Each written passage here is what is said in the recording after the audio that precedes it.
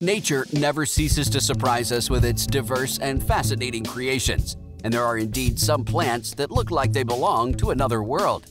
Here are a few examples of plants that might seem like they're from outer space. Number 1.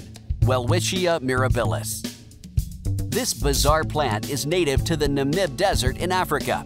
It consists of just two leaves that grow continuously throughout its lifetime giving it a unique appearance of having multiple trailing limbs. Some specimens of Welwitschia can live for over 1,500 years. Number 2. Dracunculus vulgaris. This Mediterranean plant has a truly alien appearance. Its large maroon-colored spathe resembles a meaty, muscular arm with a foul smell that attracts insects for pollination. Number 3. Pitcher plants. Several species of pitcher plants have strange, otherworldly shapes. These carnivorous plants have specialized leaves that form pitfall traps filled with digestive fluids to catch and dissolve insects. Number 4. Hydnora africana. Found in South Africa, this parasitic plant emerges from the ground and its fleshy tentacle-like lobes open up to reveal a bizarre flower. The flower's foul smell attracts carrion beetles, which help with pollination.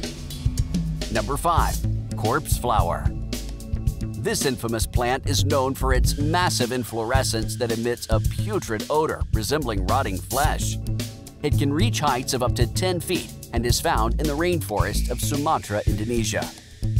Number 6. Living Stones these small succulent plants have evolved to mimic the appearance of rocks, enabling them to blend into their surroundings for protection from herbivores.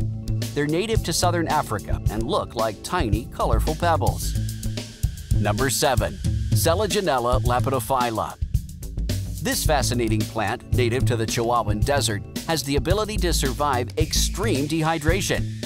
When dry, it curls up into a tight ball, resembling a dead, dried-up organism. However, when water is available, it resurrects and unfurls its lush green leaves. Number 8. Rafflesia arnoldii Known as the corpse flower, Rafflesia is one of the largest flowers in the world and is native to Southeast Asia.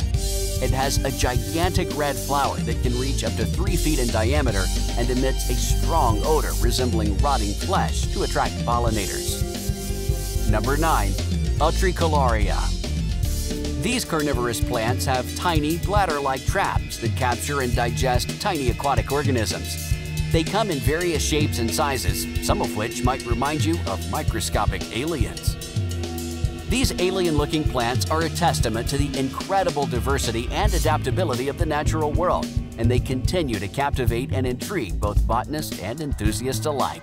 Found this video helpful? Make sure to like the video and subscribe.